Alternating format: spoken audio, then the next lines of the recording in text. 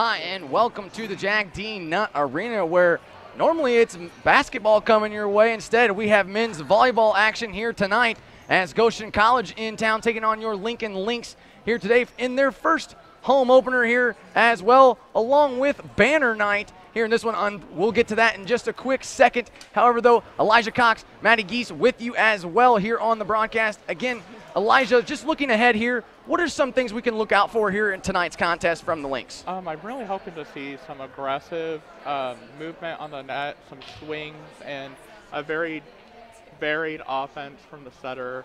Really making taking use of all the different hitters rather than just focusing on one or two, so that we're seeing that our offense is hard to defend against by the other team, um, and just really aggressive full arm swings and serves as well.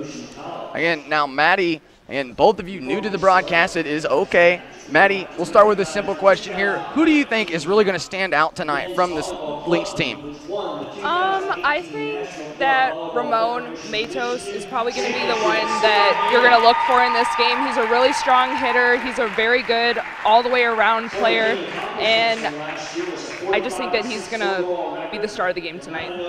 Again, this is a Lynx team was red hot, won against Goshen College. That was the, the first game of the season. They lost the first set, but then won the next three pretty handedly in that contest. So trying to do that again here, possibly even talks about Mattie a little bit of a sweep here tonight on Banner Night. Sorry, a little bit of a sweep, like they're trying to go for the, the take it in three games.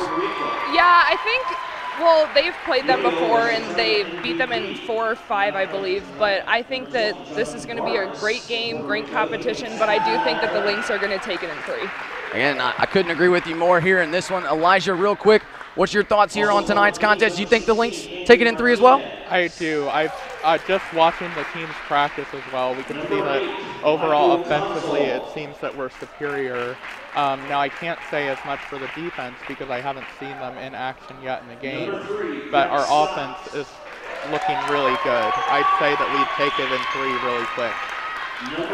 Again, we're going to take a quick break. When we come back, though, banner will be revealed, so don't go anywhere more of men's volleyball right here on LCTV. I received a scholarship from Lincoln College. I'm a dual major at Lincoln College. I'm president of student activities. I sing alto in the choir. I'm a dual sport athlete. I became a leader. I found a mentor. I found a community. I, I found, found, my future, future at Lincoln College.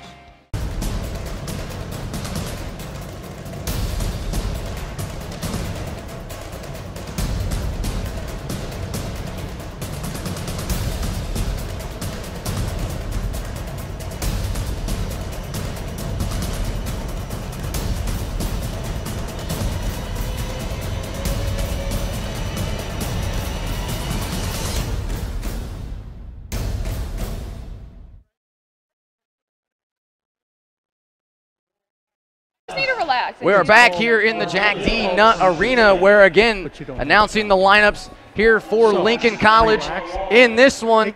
And well, you saw the the announcements here in this one, but however, though, this was the revealing of the championship banner we're about to see right here from again Greg Scott, Michael Wesley, Charles Carter, and Brian Oriana's over there, Ramon Matos, D. Coleman as well here for the Lynx going to unveil the banner.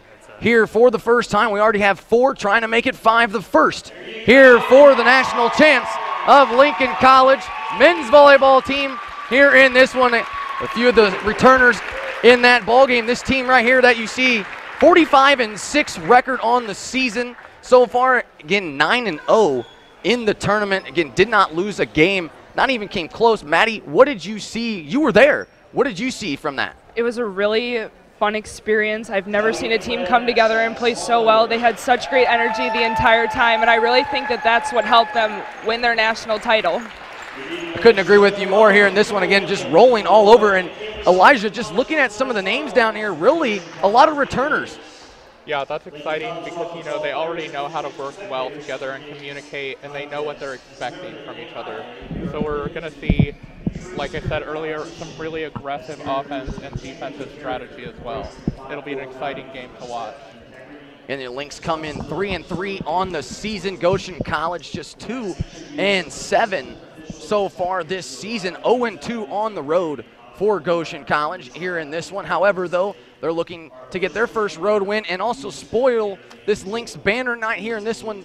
Again, now, Mattie, you are a women's volleyball player here in this one. Before we get to this question, we're going to take a quick break for the national anthem. When we come back, though, we'll have starting lineups coming your way next.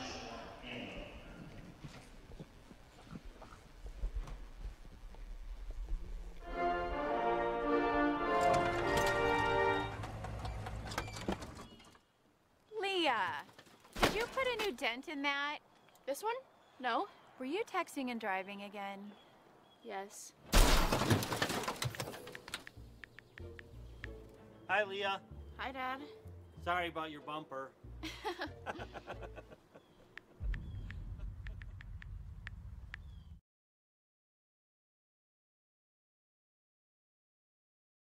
One fifty over ninety.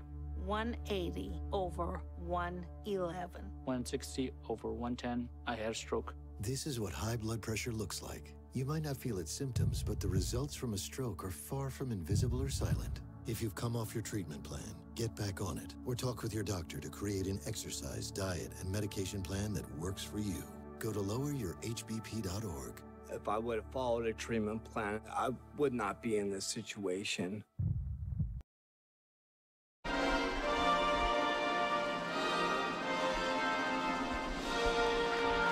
We're back in the Jack D. Nutt Arena here. Again, you see Coach Mark Tibbett and his assistant Alec Esparza here in this one, a former Lincoln College alumni here in this one. However, though, again, just looking at this, Mattie, tell me a little bit, what can we expect out of tonight's contest? I mean, you have seen these guys practice, you've seen them play before. What can we expect? What kind of competition are we looking at?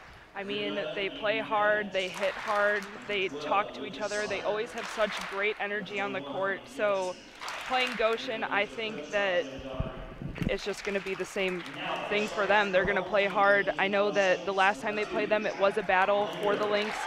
So hopefully they've learned from what this team has done and can do, and they use that to their advantage to beat them tonight. And we mentioned already Goshen College.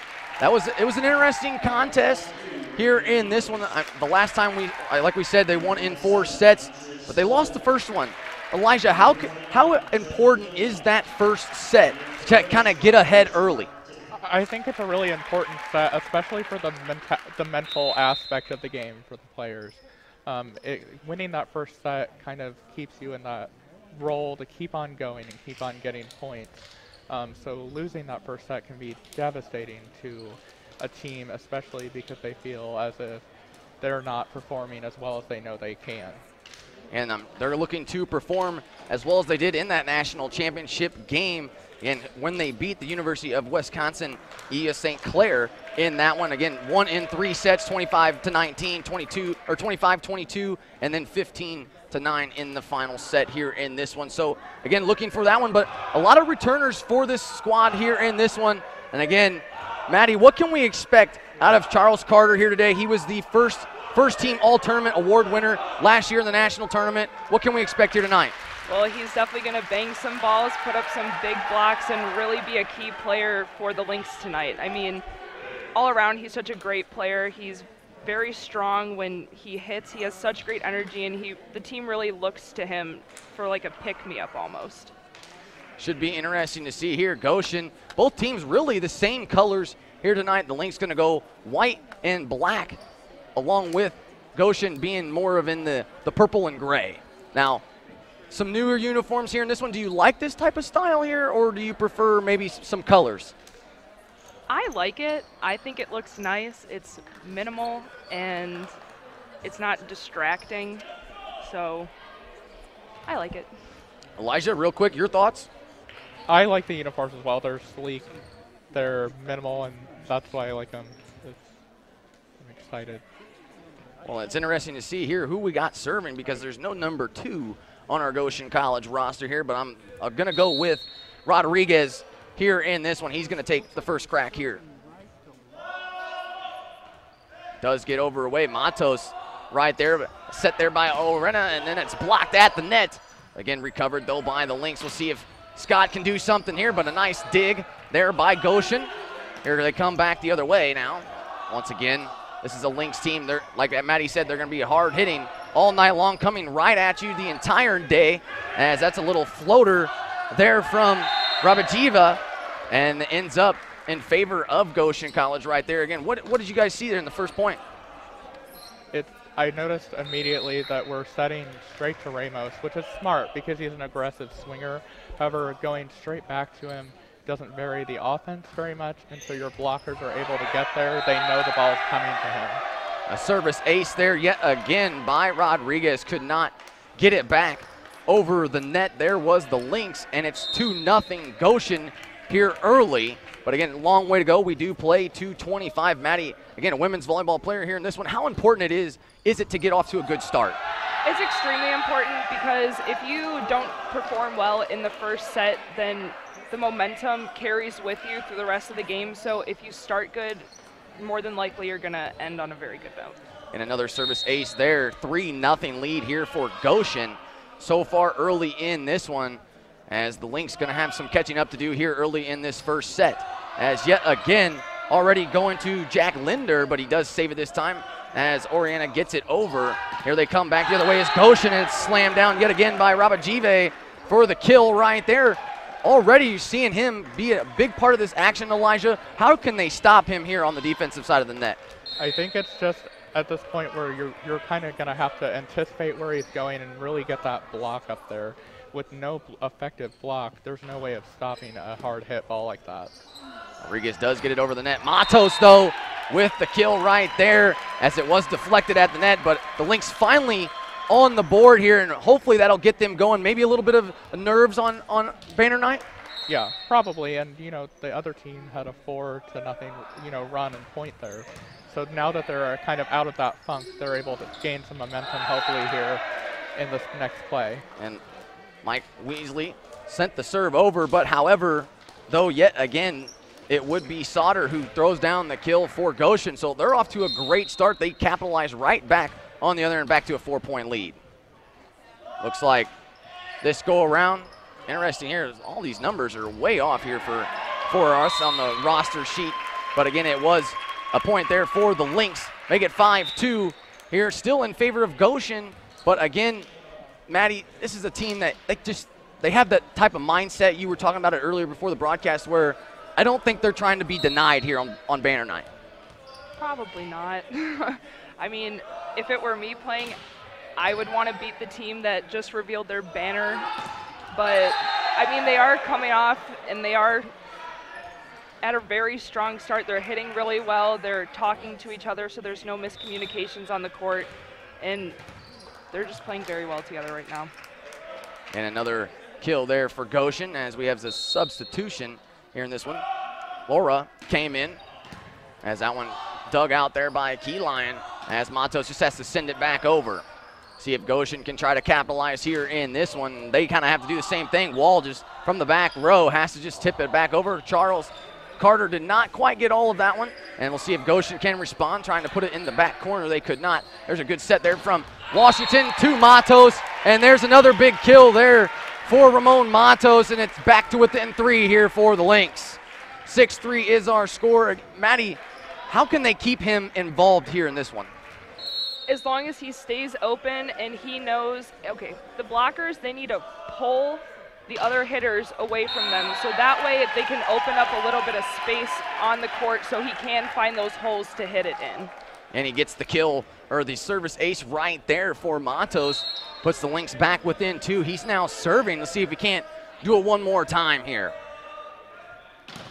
As he, he smacks that one this time to the left back corner, and they do say it was in. I do believe it was the right call as well. As again, now just down by one here, Elijah. How does this kind of build some momentum here when you see one server like Matos just kind of serving a few times in a row here? This is great because he's now he's on a roll. So now he's really got this momentum moving forward, and he's going to continue doing this and serving aggressively because it's working for him, and the other team's unable to respond. Block there by the net by the Lynx. They're going to try it one more time. As this time it was trying to be tipped by Robert Rabajive, and instead he could not. Just sent back over the net is Goshen. There's Washington with a set, and here comes again Linder. Could not get that one over, and the Lynx going to just have to send it right back over and let Goshen kind of set up their offensive attack. Nice save from again Matos, but out of bounds though, and goes away that gives the point to Goshen. However, though, it seems like I like some of this hustle here early, but can they sustain it through five sets? Yes, they can. Elijah? As long as they keep talking to each other and keep the high energy up, I think that they're going to be fine. And Robert Give now serving here for Goshen as it does hit the net, but it's trying does just barely get over, and that is the case. It can hit the net and still fall on the other side and still count as Goshen did it right there. Not always the prettiest way, Elijah, but still does get the job done. Yeah, exactly. And the other team doesn't usually anticipate that. You know, they never know if it's going to go over or not. Um, can make it hard to really return the serve well. And as we talked about it right there, uh, it seems like I have this type of karma. It seems when I when they shoot free throws in basketball, I always end up jinxing them by saying something. I'm glad it works out in our favor this go around as he sends it right into the net. As Key Lion will set the serve here for the Lynx. This one blocked at the net, though. It looked like Coleman might have had a piece of it. Wesley's there. Now Goshen just trying to save it. They cannot as the Lynx with the kill all of a sudden kind of hanging around in this one. Maybe a little bit of a slow start with getting some of these nerves out of the way right here on banner night, wouldn't you say? Yeah, I would. And I, it was great for uh, Wesley there to take advantage of that overpass and really turn that into a point for the Lynx. Goshen just trying to send it back over here, set there by Washington to Wesley, but just a little long as it goes out as it's 9-7 here in favor of Goshen. Looks like the freshman Andy Bennett set to serve here for Goshen College. Goes to Linder. He sends it back over the net, and it was just tipped back there by Sauter, and Lynx weren't expecting it. It does fall. Now all of a sudden 10-7 here in this one. Mattie, now women's volleyball player here in this one. When do you think Coach Tippett should possibly take a timeout? I would say if they don't get the ball within the next two or three points here, he'll probably call a timeout to regroup the players and just get them back in the right mindset and hopefully get their energy up and their confidence levels back up too. And Goshen, they're just trying to keep all the momentum right now. There's a good set by Washington to Linder, and he slams it home for the kill. And here comes Scott and Oriana back or into the ball game here as the Lynx pull within two. And anything, Elijah, that you're noticing out on the floor right now that maybe the Lynx could do a little bit better? Yeah, there are some holes in the back um, that aren't really being covered. We're a little far up, so serving further back and then also going for more of a wide hit at the net would be a smart option right now. As again, Goshen with the kill right there. 11-8 is the score here in set number one. And best of five as we have another substitution coming in. Gieman checks back in here for Laura. He will set the serve. Does get it over right to Matos, though. Right to Oriana. He's going to set it up for Scott. He does drill it hard, however, those dug out by Goshen. Going back the other way now. Once again, the Lynx setting it back up for Wesley this time, and it does tip off the hands of the defenders up front, but still down and counts here for the Lynx. 11-9 now in favor of the Lynx here, or in favor of Goshen so far, but seems like that, that front row really starting to give Goshen a little bit of trouble now. Yes, especially Wesley in the middle there. Um, it seems like every time the Lynx are kind of having a fall and luck, Wesley is able to get a point from the middle there, and it just puts him right back in, in pace to move forward and ahead of the other team. Good block there from Scott at the net. Sends it down and make it 11-10 now as the Lynx pull within one as Linder set to serve. As Goshen Again, from the back row this time, Robert Give just a little too long here, and all of a sudden we are tied now at 11, and you see it right there. Again, Jim Daughtery wants to call this timeout right here in this one, and I believe as we're going to stay right here, tied at 11. Mattie, we'll start with you. What have you seen so far out of the Lynx? And they came out a little bit slow. What do you think they can improve on? I think that if they communicate more, then that way there won't be obviously any miscommunications and they can figure out where to put the ball and who to set it to and stuff. And I also think that they just need to keep doing what they're doing. They're doing a great job hitting, they're doing a really good job closing the block, and they're really making Goshen work for the points that they're earning. Now, Elijah, with you here in this one, what do you think as we just saw a replay of something right there. I don't quite know what exactly it was. They didn't didn't nobody wanted to tell me in the ear. However, though, Elijah, what did you see kind of before that timeout that the Lynx kind of were doing a little bit better than Goshen? Uh, they're really just swinging aggressively, and they're kind of moving from hitter to hitter, as opposed to Goshen, who is just sticking with one single hitter, and it's not really working out for them currently. Um, as now we're tied up. And coming out of the timeout, it will be Lynx to serve here in this one, as they're looking for the first lead of the game here, if they can possibly put down a service ace here from Jack Linder. Does get it over the net, just tipped back there, but Matos and Wall kind of went up right for it, but they're going to say he, I believe they crossed the net there in a way. Mattie or Elijah, one of you can clarify here for me, but the Lynx do come away with the point. Yes, that was a net violation, so anytime a player touches the net, it is considered a violation and the point is awarded to the opposite team. So the Lynx will regain the serve here in this one as Oriana just has to send it back over. Goshen now going for the kill, but Again, Linder was right there, but Scott will take it as it's off the hands of Goshen at the net. And now all of a sudden, Matos, Wesley, and Scott starting to pick up the pace here a little bit for here for the Lynx. Yeah. Scott, as a shorter player too, really taking advantage of that taller block to tool the block for the point there. And it's tipped at the net there by Matos. Now he's going to get it back. He's going to have to just send it to across the court. However, just a tad bit long here in this one. So that'll put it at 13-12 now in favor still of the Lynx.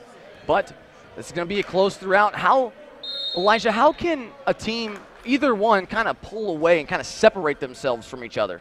It's really all about getting into their rotation and really communicating with each other and doing exactly what they're doing right now.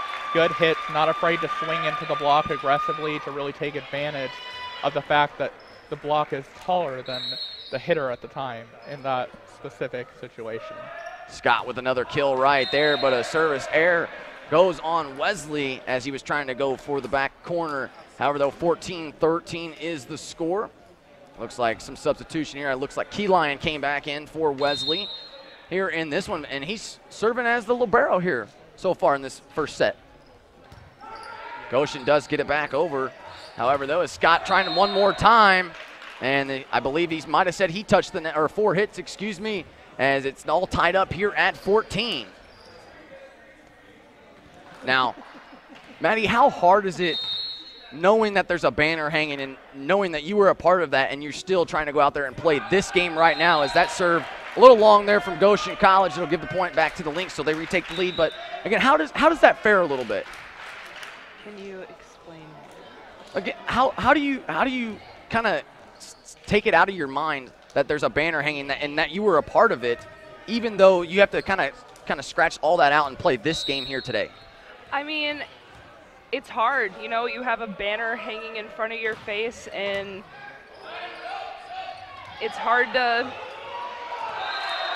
Some miscommunication there by the Lynx as they let that one fall. Make it again all tied up at 15 here in this one. But Mattie, what were you saying there about about the about the banner?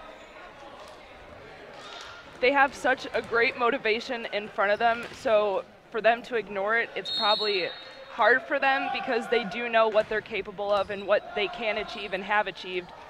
So to be playing how they are right now, a little scrappy, a little on a roller coaster, I would say, it's a little hard for them.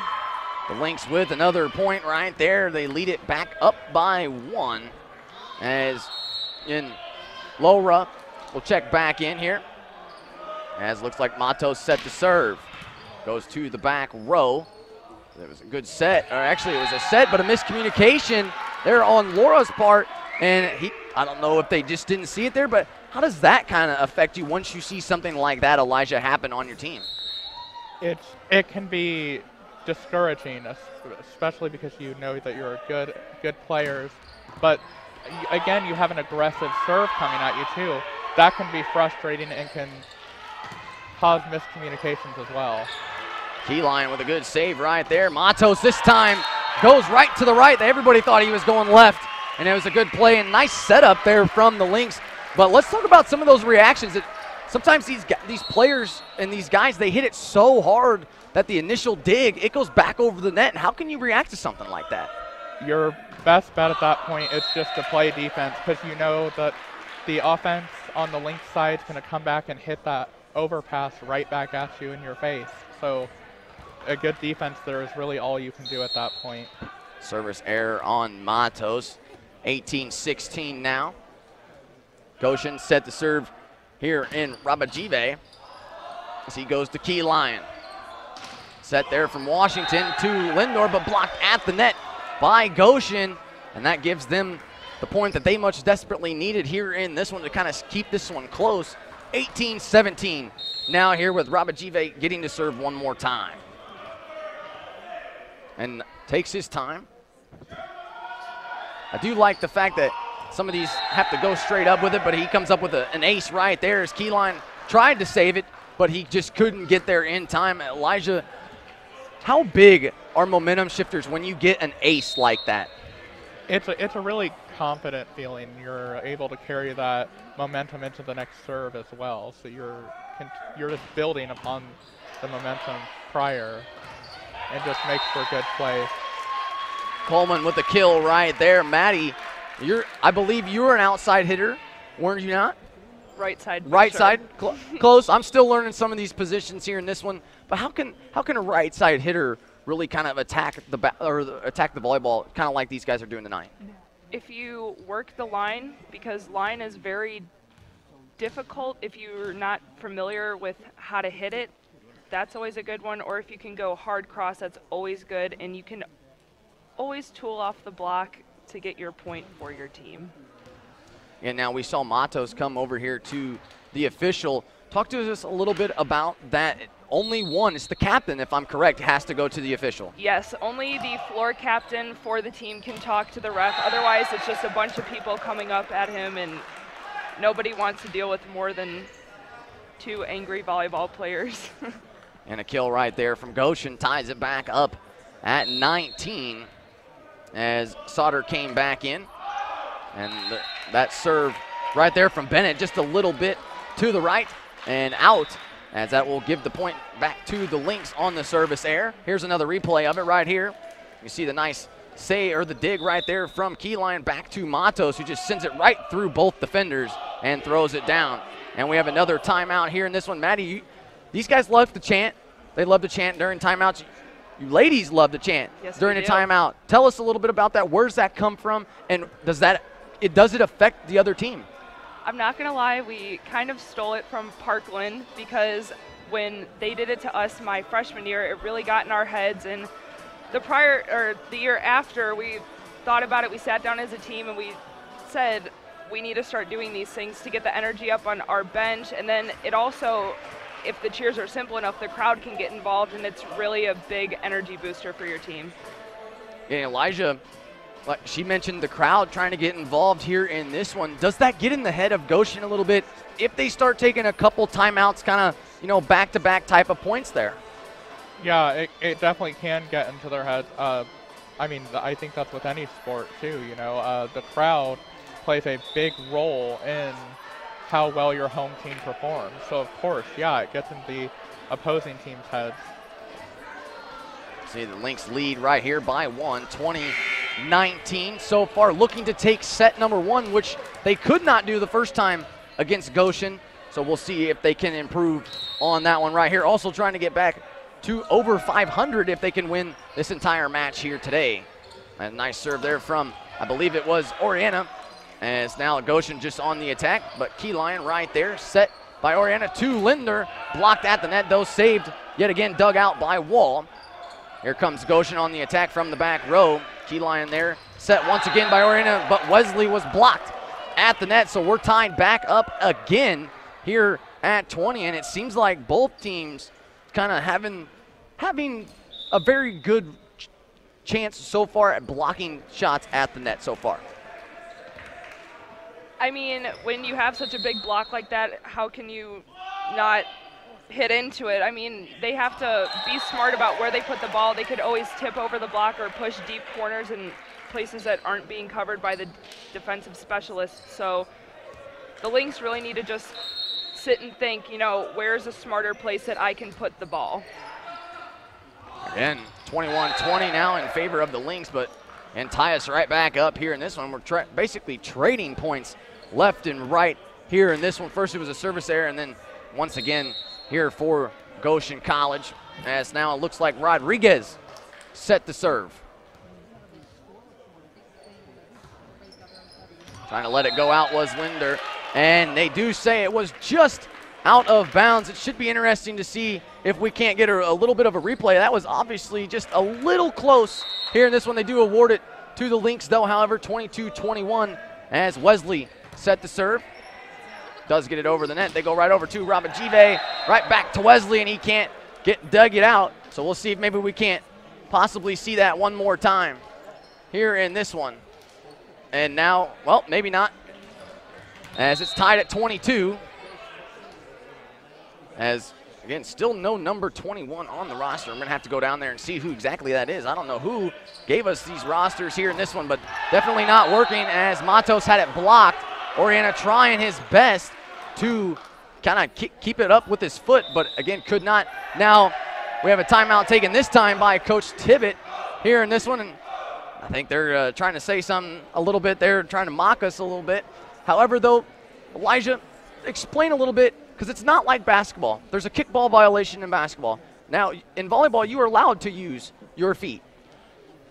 To a degree, yes. Um, as long as it doesn't rest on the foot for more than a second, I believe is the rule, because then it's considered a lift.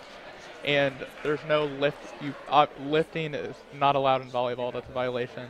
And doing that, of course, gives the other team the point.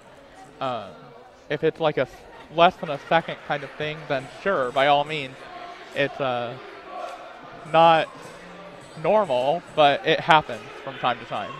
Now, Coach, Tibbet took that timeout. Mattie, what do you think he was telling his guys here in this one? Because you see Greg Scott. I mean, none of these guys are worried that they're down one right now. I mean, I think he probably told them to just be smart about where you put the ball. Maybe don't, if you don't get a very good set, then don't try to slam it down their throats. Just try to keep the ball in play so they can get the opportunity to get a good ball over the net so they can set it and they can't hit it. Like Matos Right on cue, just exactly as you drew it up up here. Matos heard you, and he lays it down with the kill as Washington and Carter both come back into the game as Washington will serve. And I told him in class that I would say this on the air, and I'm going to have to. His first name is Nick. Does I told him that I would say that he has the best first name ever. Maybe a little bit of a bias there. Maybe, just a tad. And he does get it over the net, though, and Goshen can't run it down as the scores table in a little bit of trouble over there as we're back at 24-23 now as the Lynx looking here for, again, the set number one if they can get the ace or maybe even a kill right here. Washington goes to the back row. Goshen trying to answer here. Rebe trying to basically tip it over. Good save dug out by Washington. Matos just going to have to send it back over the net. Here comes Goshen yet again, and they cannot get it to go as that's going to do it here for the set number one as your Lynx winners 25-23 so far. They're going to actually switch sides here in this one. I love about that. Only really one of the only sports to really kind of do that, switch benches and everything. I feel like that could kind of be a little bit of a momentum shifter. Everybody kind of, you know, sometimes loves one side over the other. Mattie, did you have a preference on a, on a side? I mean, I always prefer the side that our team just started on just because that's the side that I've practiced on. It's what I'm more comfortable with. But at other gyms, sometimes it does make a difference because some one side light could be larger than the other and the back line could be larger than the other. So it really just depends. No, I completely understand here in this one. Now, if you're Goshen College, you're switching to the other side. You're trying to look for some momentum after losing by two here in this first set. Yes, you have to win by two. So really, is it's kind of like by one there in this one. But what do you think he's telling his team right now to kind of come back in set number two? The same thing that Tippett told our players to just make smart decisions on where you put the ball. If the set's not there, don't slam it. And just to communicate and have a good team chemistry going on the court. Now, Elijah, we, we see the Lynx over here. They're dancing. They're having a blast out here in this one. What do you think Coach Tibbet or Alex Esparza here in this one. What do you think he's telling his guys right now here for set number two? You know, he's probably telling them just to keep up with the momentum, to really keep on swinging, and to play aggressively like they have been. Ultimately, when they played volleyball their way, they started to move ahead, and that's what won them the first set. And let's take a look here at this all tournament team that we've seen so far. We mentioned Charles Carter with the first team. Again, Dietrich Coleman, or D as we call him, Mr. Coleman, second team. Again, Jonathan Vargas, who's no longer here with us, he was also part of that second team as well. But Ramon Matos and Brian Oriana, who are here tonight, both honorable mention in that.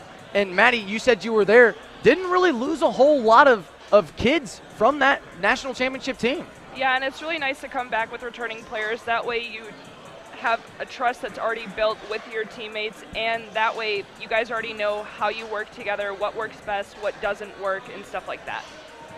Again, Elijah now coming into set number two.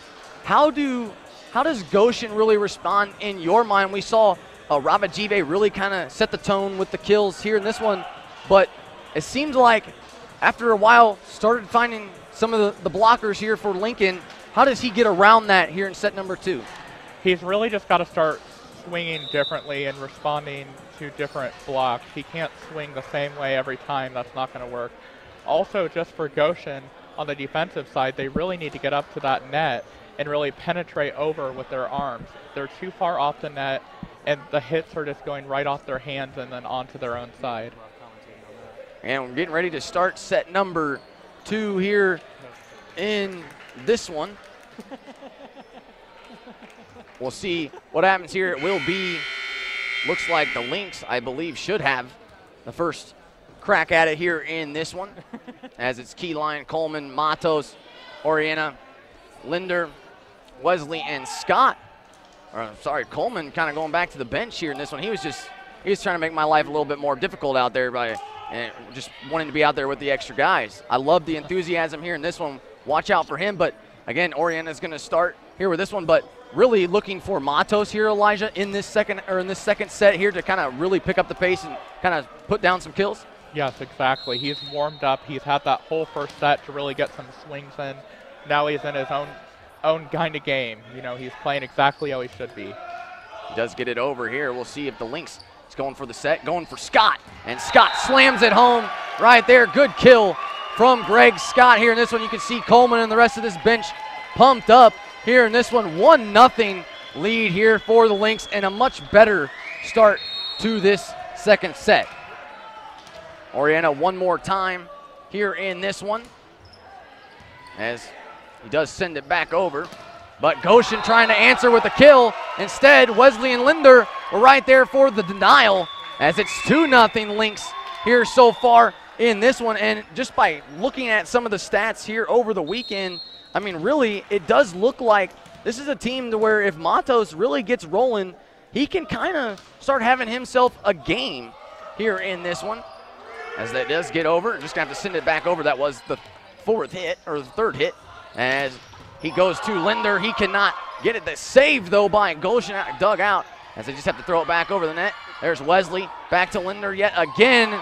Another dug out there by number 21, who's not on the roster apparently. Only goes to 15 as Oriana goes back to Linder yet again, but this time the tip cannot go his way as it falls just outside of the line as it's 2-1 now here in favor of, again, your Lynx. But however, though, what I was saying, though, about Matos had eight, only five kills in the first game against Aquinas. And then I know they were ranked eighth in the country, so a good solid team there. And they did say that they that that was a team that really kind of outplayed them here in this one. As Scott, I believe, touched the net there in this one. We'll have an uh, official ruling here in just a second. Elijah, what did you see here? To me, it actually looked like uh, off the other team's block, it actually touched the antenna. So that call was kind of questionable for me. I think the link should have retained that point. 2-2 is our score here. Rodriguez set the serve to Linder. He's just going to have to get back over the net. Scott sets it right back over. I think Oriana wanted him to set it up there. Raba BJ, or Raba Jive tries to go to key line. Matos from the back row, back over. Yet again, Raba Jive to Oriana, and this time the feet's not going to work as it's 3-2 now. Goshen out in front. Yeah, um, the Lynx have really got to get together and communicate better with their passing and blocking even to kind of stop this now before Goshen gets on a roll here. Rodriguez sends it over. And Wesley denied, though, at the net. One more time. Greg Scott will not be denied. He gets the kill right there, and we're tied back up at three apiece here in this one. Now, Elijah, talk to me a little bit about the pace. You really have to, like, strategize every serve, every point. What goes into the thought process here as a men's college volleyball player? Before you get to that, that one, they do say, I believe that was out. Interesting call here in this one as it gives the point to the Lynx. I don't know if you're Goshen. I don't, I don't know if you agree with that. Yeah, I, I wasn't able to see, but it didn't look like it touched the Lynx block. And it may have been on the line there.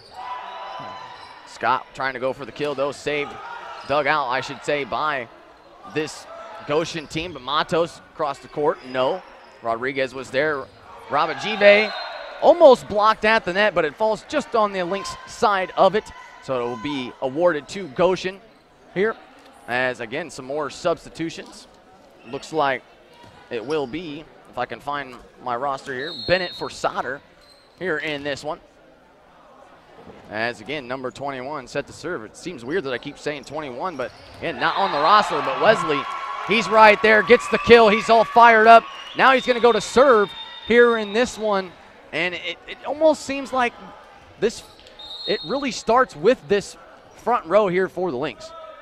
Yes, I, I would agree with that. Um, as I mentioned earlier, it seems like Wesley always just comes in to kind of get them the point they need to start their own momentum back up again and could not get that one back over the net. 6-4 now in favor of the Lynx here in this one. Wesley set to serve one more time. Trying to go towards the bag. Rabajive is there. Coleman, and it looked like Wall was there, but he was a brick wall and denies Coleman right there as Wesley checks back out. Here comes Keyline into the game as Goshen and Wall set to serve. Again, Michael Wall, six foot sophomore out of Ohio. Goes to Matos. Oriana sets it up for Scott. Denied, though, at the net by Goshen. Let's try it one more time with Scott. Still kind of tipped it there, but on their side. They're going to go for the kill right here. Rabajive, no. Keyline with the dig. Oriana to Matos, no. One more time, Rabajive. Oriana with a nice set there to Keyline over to Matos, who just kind of miss hits it just a little bit. Now, Mattie, how how was that? Was that a, again? Was that just a little bit of a miss hit right there in this one, or what? What did you see? I personally thought that the set was just a tad bit low, and sometimes when the sets are low, it forces the players to readjust their arm swing, and sometimes it just does not go over the net like you just saw. Well, you just saw him kind of make up for his mistake right there, kind of put it down with some authority as he was not pleased there. 7-6 lead here for the Lynx. And one thing I want to look at, though, here for Matos is I'm learning all these. I think it's it's great being my first time broadcasting volleyball. I get to learn something new here in this one as Washington sends it over, and you know with the kill percentages and stuff, and how kills minus errors divided by whatever gets you, you know, your attack percentage or whatnot. How you could easily have a great game, but if you make little bit mistakes like that, just one here and there, it could really hurt your, your average and, and your percentage. Yeah, it's something that us hitters take pride in our hitting percentage because, I mean, little mistakes really do have a big effect on your hitting percentage because if you have more attempts and you have the same amount of like if you have more errors than you do kills, it really messes with it, and then it just makes you feel like you did not play that great. And an ace there for Washington. Make it one more as he gets back to back aces here in this one. He's going to try to go here for it for one more time. As I would tell you how many he has, but we got a lot of different uh, same players' names on all these stat sheets. So really tough to read here in this one as we have a timeout. We're going to go to break. We'll be right back here in 30 seconds more here on LCTV.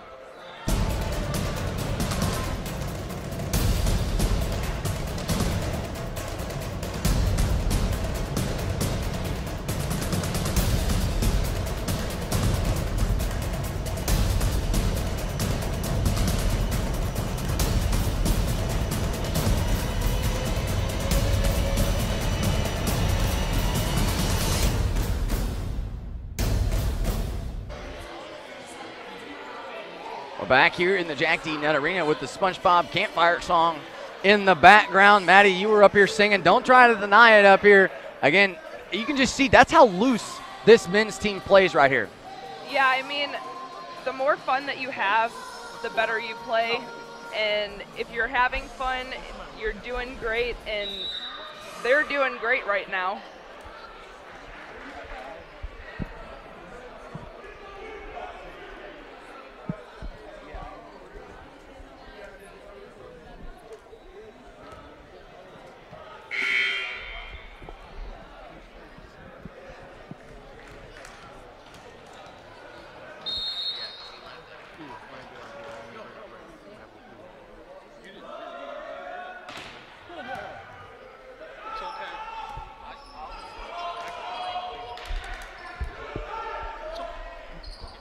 Washington with the set there to Charles Carter as he throws it down. Another point here for the Lynx as they are on a roll here in this one as it's 11-6 now in favor of the Lynx.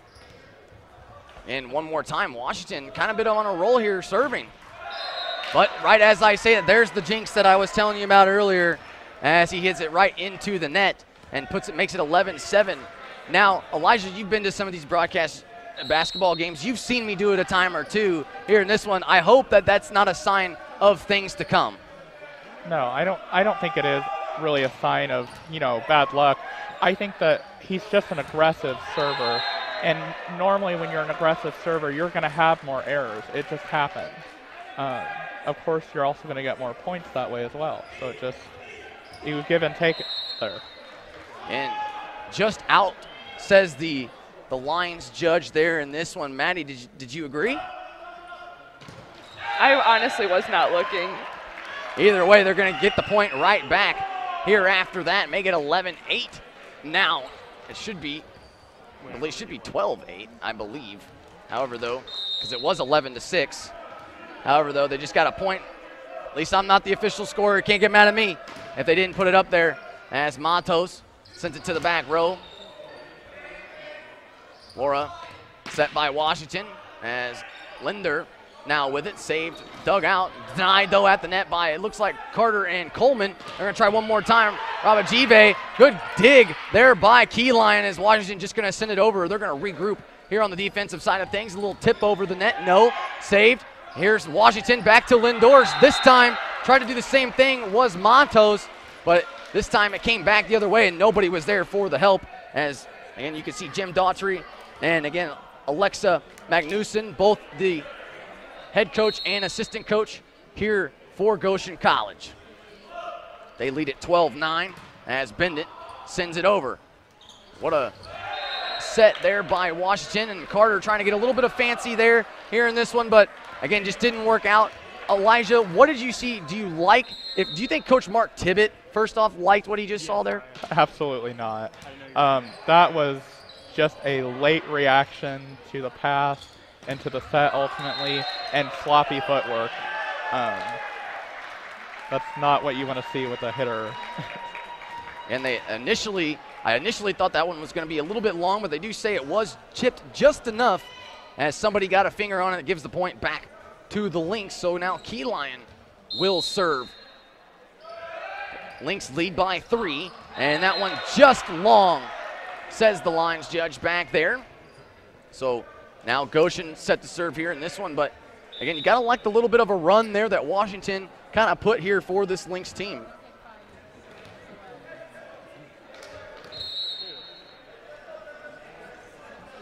Goshen now will put it back over the net to Matos. Set there from Washington to Carter. And a big hole right in the middle as he finds it. And he sets down the kill right there. Scott and Oriana coming back in, and you can see Matos starting to heat up here. You got to get fired up when your player hits a ball like that and it's wide open. There was nobody there. It's beautiful. Elijah, what, what did you see there from Matos? I mean, you, you know, you can't really ask for a better opportunity as a hitter. You know, you're when you're when you're wide open like that, and it's of course it's exciting. You, you're gonna celebrate and just enjoy your point, especially when you have a lead over the other team. And now we see a double hit there here in this one. And not only the Lynx, but maybe some of the women's volleyball players, along some of your teammates, Mattie, they're going to let Goshen know that that's a no-no. Yes, they are. We do not accept double contacts when you set at all, ever. You heard it right there first from the volleyball player herself as Goshen find the zone and they lay it down right there for the kill. 15-12 lead for the Lynx. Again, here we're going to go to replay here one more time of that last one. And you see Charles just kind of throw it right in the middle where nobody was standing right there. And again, got a lot of elevation over the net. I wish I could jump that high. Me too. And Rodriguez throws it over the net here. Oriana set the serve. He goes to Scott, and he goes right through the brick wall set by Goshen, and he finds the bottom of the hardwood as that's a kill for Mr. Scott as it's back to a four-point lead here for the Lynx. Uh, the Goshen coach there is probably going to want to talk to their blockers up there as well. They're not really moving in close enough to have an effective block, allowing hits like that to go straight through. As Matos yet again almost got another one there, but somehow it was saved by Goshen. Here, Scott this go around. Once again dug out there by Gieman as Rabajive goes to the back left corner, but just a tad too far as it's now a five-point lead here for the Lynx.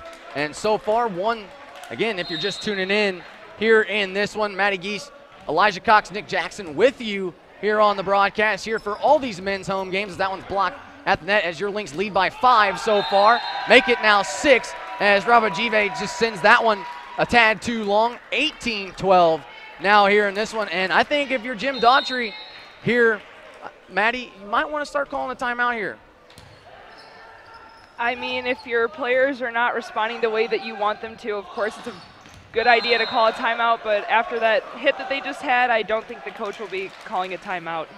And Rabajive still doing his part in front of the net. I'm, we could get a stat sheet here sometime soon. I'm sure he's going to have quite a bit of kills here for Goshen College. It seems like he's the only one so far to really kind of step things up here for Goshen.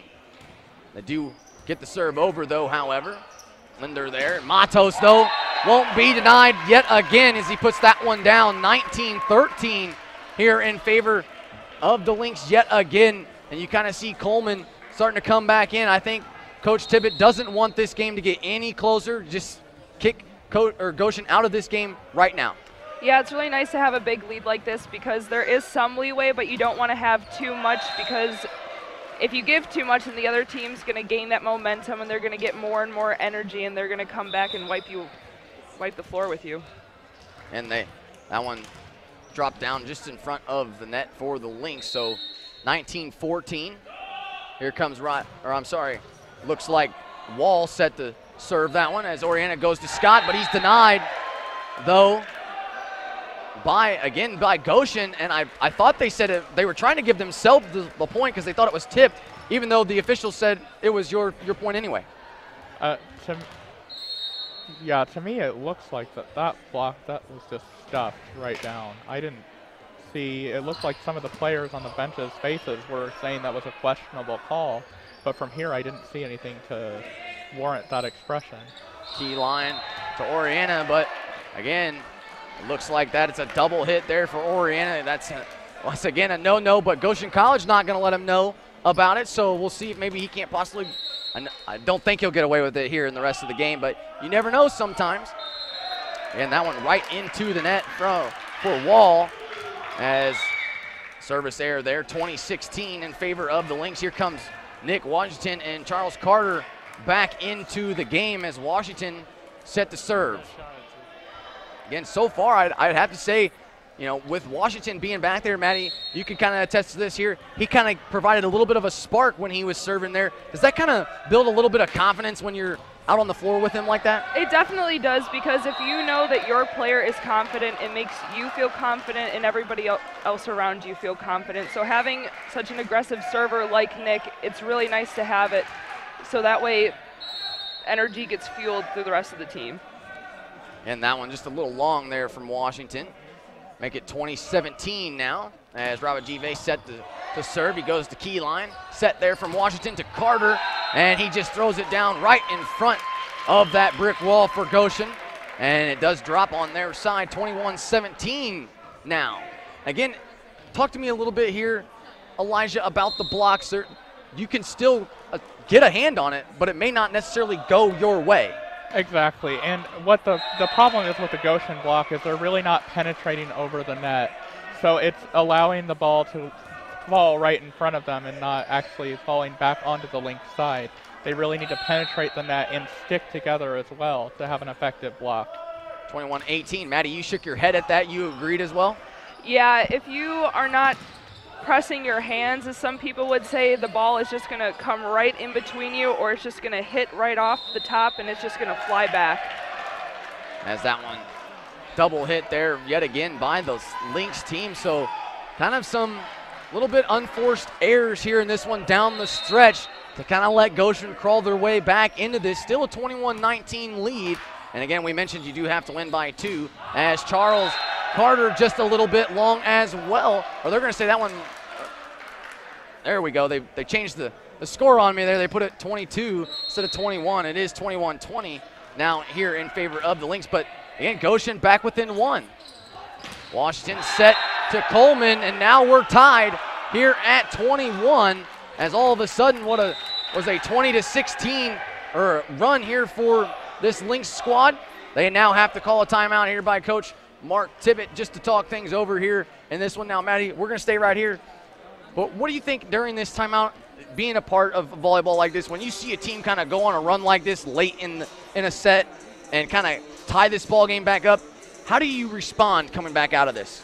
You just have to hit harder, pass better, set better. You have to do everything in your power to play better. I mean, when a team comes back from a gap, I would say, score gap like this, it's a little bit intimidating because they are on a roll. They do have that momentum that they are carrying with them. And again, it is very intimidating, but our players are smart. They know what they're doing. They are national champions. They will find a way around this and pull out a win.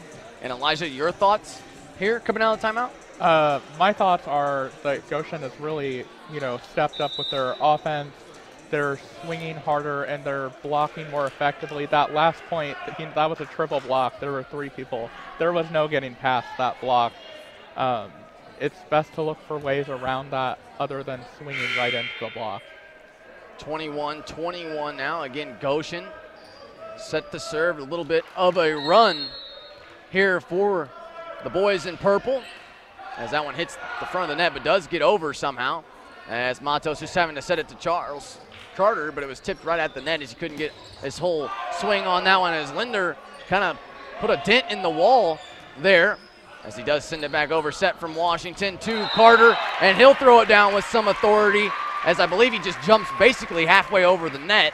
It kind of helps him out big time here in this one. 22-21 now here in favor of the Lynx as now Daughtry wants to call a timeout and once again the Lynx let them know here in this one. We're going to take a quick break. We'll be back in 30 seconds. 22-21 lead here for the Lynx in this one. Well, I guess we're going to go to a, a replay instead of a break as Carter just throws that one down here. But again, now we're going to go to a break. 22-21. We'll be back in 30 seconds here on LCTV. Meet the scan, a simple procedure whose mission is to detect lung cancer early.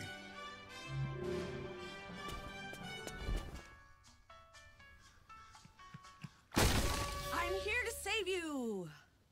But I feel fine. That's great, but you may still be at high risk for lung cancer. Oh man, that's a new fence. If you smoke, early detection could save your life. Learn more at savedbythescan.org. We're back here in the Jack D. Nutt Arena, where again the Lynx coming out of the timeout. They did get the last point, so Keyline set to serve here. But how can the Lynx kind of get on a roll here and kind of get the last, grab these last couple or I should say last three remaining points? I think they just need to serve aggressively, um, continue running their offense like they have been, and really work on the block there up at the net as well. That set there was kind of miscommunication there by Goshen as Charles Carter sends it just a lit, or they're going to say it was actually on Goshen College. Again, Mattie explained to me here kind of what just happened. I guess a player might have touched the ball that's what I'm assuming. I thought that it was out, but I guess it wasn't. I didn't know. I didn't exact. I thought it was out as well. This time, they do hit the net, and this one was more obvious, so that does Yes. give the point to the Lynx. So set point, or should I say match point here in this one, 24-21. Lynx looking to take set number two. Did take the first one. See if they can't get the second one there. Washington and Keyline almost run into each other as Washington's just going to have to set it over. And I don't think he should have been the one to do that. I think Matos was in a good position there. What did you guys see on that last play? Just a little bit of some miscommunication. Yeah. They weren't talking to each other, and that forced Nick to kind of windmill it over. and just a tad long. The Washington 24-22 still set point here for the Lynx. Washington to Wesley trying to go back corner, but just to the right of where it intersects, and they cannot get it the job done yet again this go around. Now all of a sudden Goshen back within one, 24-23 here in this one as Gieman will serve. Goes to Matos. Washington to Linder. It was dug out. Nearby Goshen. Ramajive is there, and he- he'll find the back of the corner. And we're all tied at 24 yet again. So kind of some runs as of late here by Goshen College are trying to take set number two as we're tied here at 24. Gieman a little long on the serve as call that one a service a service error right there. 25-24. Here comes Scott, a big hitter here for the Lynx, and Oriana in the serve. Also a, a decent setter here for this Lynx team. Mattie, any thoughts on Brian Oriana? He has such beautiful hands. He can place the ball pretty much wherever he wants to, and it's really a good thing for your hitters too to have such a great setter like that because you have confidence in him and you know that no matter where he is on the court, he will get the ball to you in the right spot. Another kill there from Goshen College to make it tied up yet again at 25. This time it will be Rodriguez to serve. See, the Lynx just need to kind of get something going here in this one, and that's kind of the break that they needed right there as he hits the net, and it drops 26-25 as he couldn't get it over. Lynx looking for set set point here in this one. You can see Daughtry not happy here in this one, and Jack Linder, right before we switched it back, kind of the ball kind of caught him in, in the face there just a little bit on the bounce from one of the Lady Lynx over there, but they do get the job done right there, a block, and that will do it finally here for the Lynx in set number two. They win it 27-25. Here just a couple, little bit of it, a little extra, but however though, we'll, let's see that last hit. Blocked at the net nicely there from Scott and Wesley just descended into no man's land for Goshen as once again lose set number two. So we're going to take a quick break. When we come back, though, the Lynx taking, trying to look for taking the third and final set and winning here on Banner Night. They talked about going sweeping 3 0. We'll see if they can do it in here in set number three. They win set number two. They lead it 2 0 here so far. We'll be back right after this on I received a LCTV. scholarship From Lincoln College. I'm a dual major at Lincoln College. I'm president of student activities. I sing alto in the choir. I'm a dual sport athlete. I became a leader. I found a mentor. I found a community. I found my future at Lincoln College.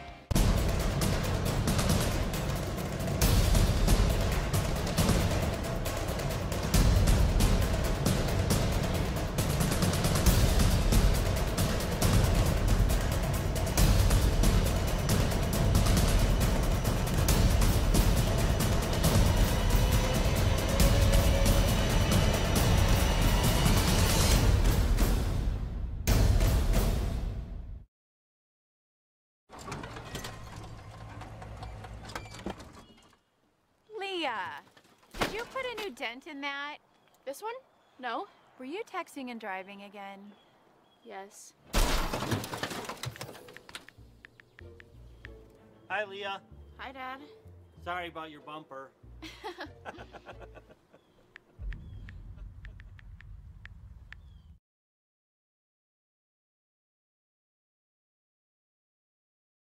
Meet the scan, a simple procedure whose mission is to detect lung cancer early.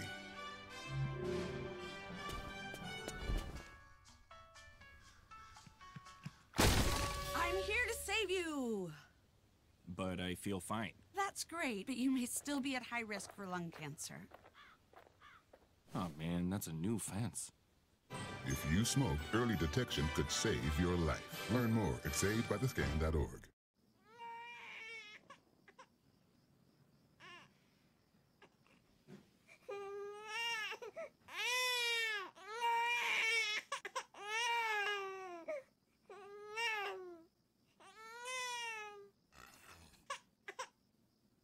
If you love them enough to suck the snot out of their nose at 4 a.m., then surely you'll check nhtsa.gov slash the right seat to make sure they're in the right car seat.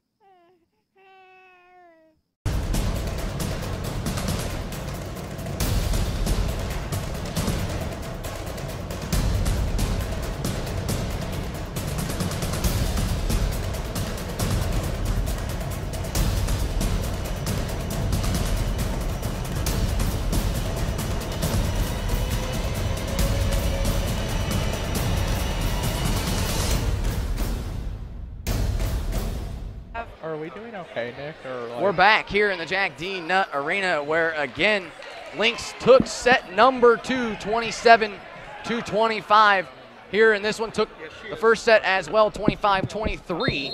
Looking for the third and final set to kind of wrap this one up here against Goshen in this one. It will be Rodriguez and Goshen set to serve here for this one as Coleman about threw it down with authority, but Rodriguez says otherwise. But however, Rabajive denied, though I believe that was Carter who might have got a hand on it, as it's going to be 1 nothing yet again here in favor of the Lynx so far. Again, Elijah, knowing that you've won two sets already, looking for that third and final match win or set win, what do you think is rolling through this team's mind right now here on Banner Night? They're probably just thinking, you know, we just got to keep doing our thing. We're communicating well, we're hitting well, and we're receiving the serves well. If we just keep this up, we've got this one in the bag. They're confident at this point, and they're on a roll. Is that one blocked at the net yet again? Goshen will keep it alive, though, however, and then Robert will send that one down as well here in this one for the kill. 1-1 is our score. I mean, we'll wait for Mattie here in a quick second. However, though, it will be number 21 yet again here to serve. As Matos, Washington, now Carter. And you already know Carter's going to throw it down with authority as well. Also, kind of a little bit of a whip action there coming back after he got the kill. 2 1 now. Here, good guys of Lincoln College.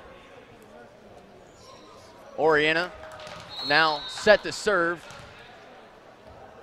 And we talked about he had a, quite a few assists, and he loves to kind of set the ball very well. As again, Mattie mentioned earlier, as Robert Give goes right to Oriana, he does kind of save it as Linder now Keyline trying to go over the bench, and I believe he might have had an opportunity if he if if Linder wasn't there, but it does give the point to, to Goshen, make it 2-2.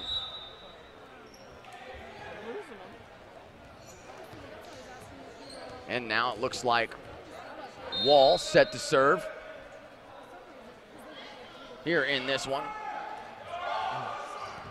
Just barely kind of floating it over was Wall, but instead Scott right at the net denied though. I believe that might have been Bennett and Laura. So that'll make it 3-2 here still in favor of the Lynx as that one went out of bounds. Linder right smack dab in the middle as once again blocked at the net. Thereby looked like Scott might have got a hand on it as already 4-2. Lynx looking good here, Elijah, so far here in set number three. Yeah, they're playing a strong defensive game, and they've got strong servers too. So all around right now, they're just running the court. And you see Coach Tibbet right there. He's loving every bit of the action here in this one. 5-2 here in this one. And again, he's the, the head coach. He does finally got a banner here up. I actually thought they would have put it right smack dab in the middle of both of those two banners. However, they put it off to the side, kind of their own. Hey, no worries.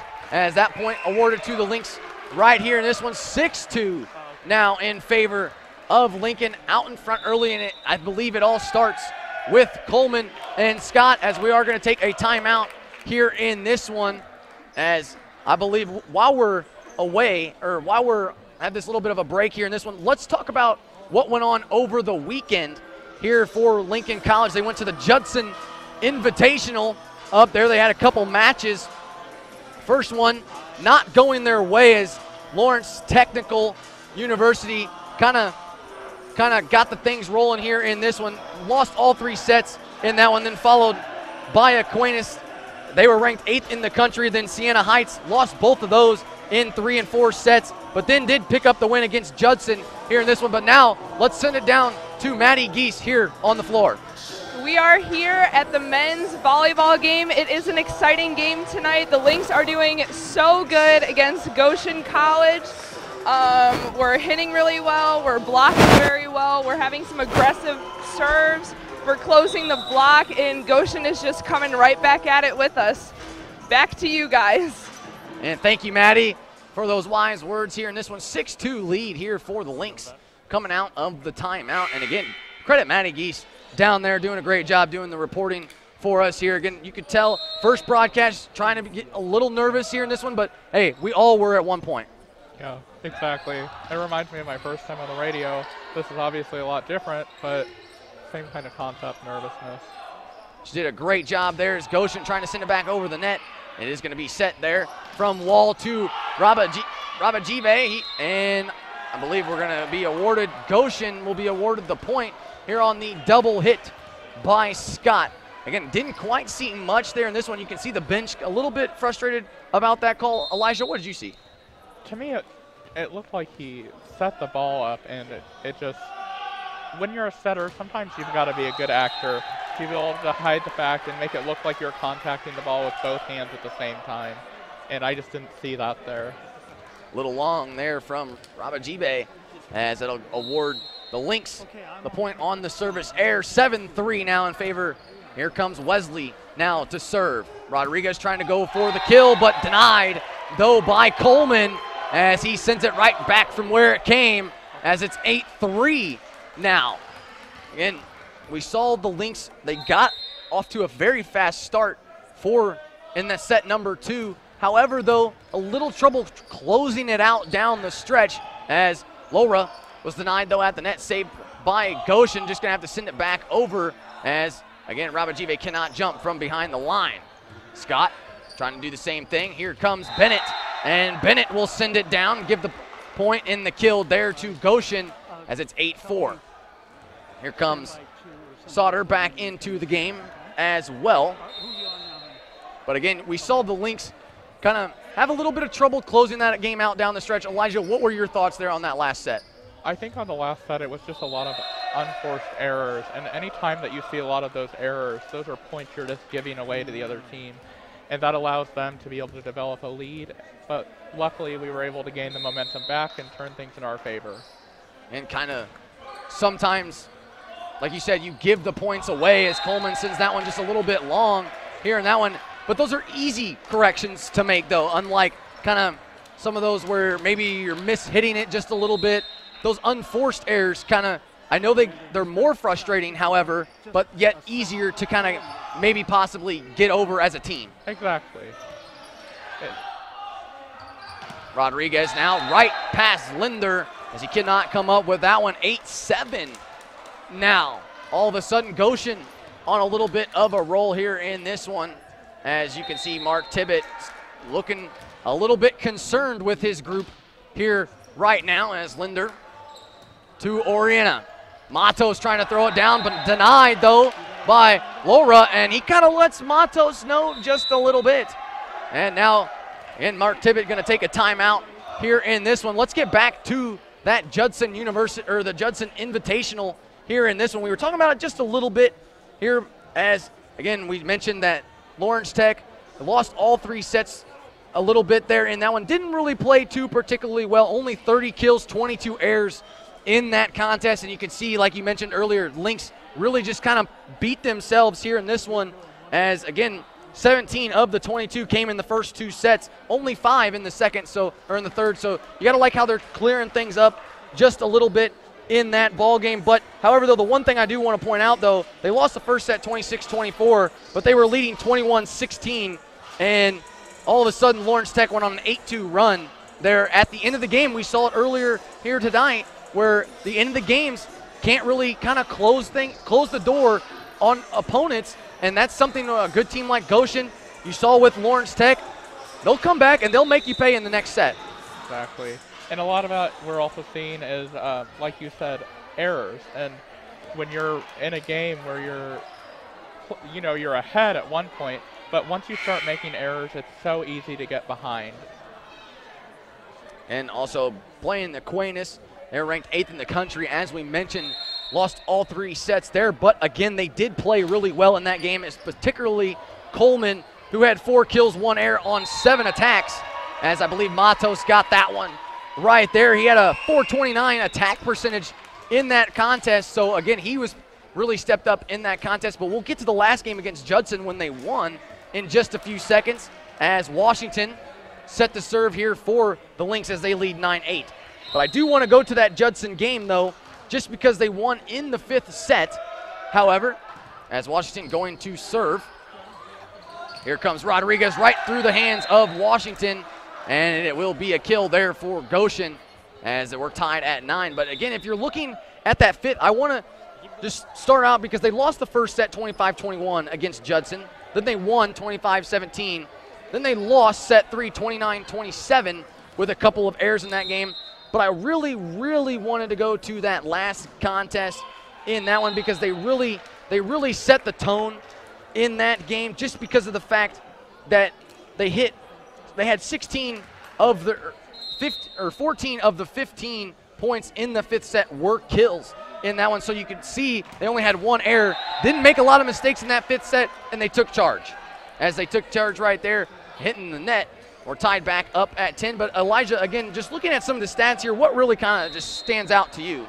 I mean, a lot of times when we're going back and forth between sets, you know, you have one team winning the first and then the next team. That has to do with the coaching that's happening in between sets and the adjustments that are being made by players. Hang on, as the, the ball actually got stuck in the net. I don't think I've ever really seen that here in this one and maybe possibly see a replay of the, of the ball actually getting stuck in the net. I don't know if we have a camera shot of it, but we'll see maybe possibly here in a few seconds as that one was served from Keyline to Rabajiva as Key Keyline saves it yet again, drops it just in front of the line right there, maybe even on it. Let's see the replay one more time. No? Maybe. You can see the, the bench loves it though. However, as Keyline yet again, who got the kill right there, he's going to go one more time now to trying to dig that one out. He could not, as that one will drop for Goshen. 12-11 now here in this one, but it really kind of seems like with this Lynx team, great offensively. However, I know it's still early, only 3 and 3 on the season, but right now, being able to close out games, we're starting to get to that about the halfway point right here in this one. You see Carter throwing it down with authority right there. They're going to have to continue that here in the third set to close the door on Goshen. Exactly. They're going to have to keep this aggressive pattern as well as playing defense as well as they have been. Just keeping things consistent is what seems to be working for them the most. Carter and Washington check out of the game. Here I believe Wesley and Oriana comes in as Bennett sends that one right to Matos. Good dig there from him. Scott just going to have to send that one over here in this one as Bennett throws down the kill right there. Make it 13-12 now in favor of the or still in favor of the Lynx here in this one as I believe Wall going to go to the back road to serve here in this one.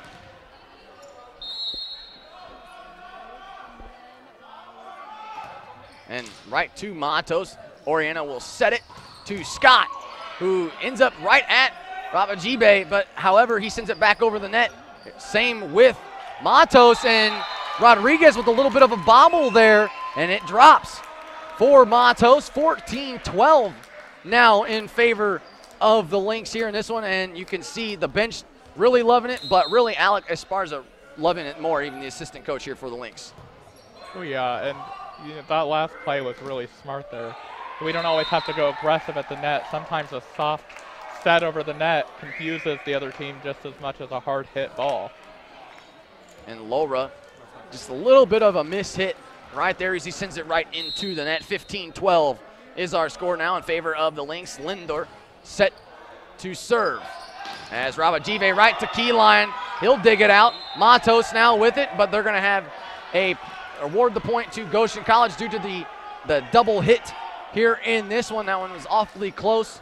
However, though, awarded to Goshen. They now trail by just two as Rabajive set to serve.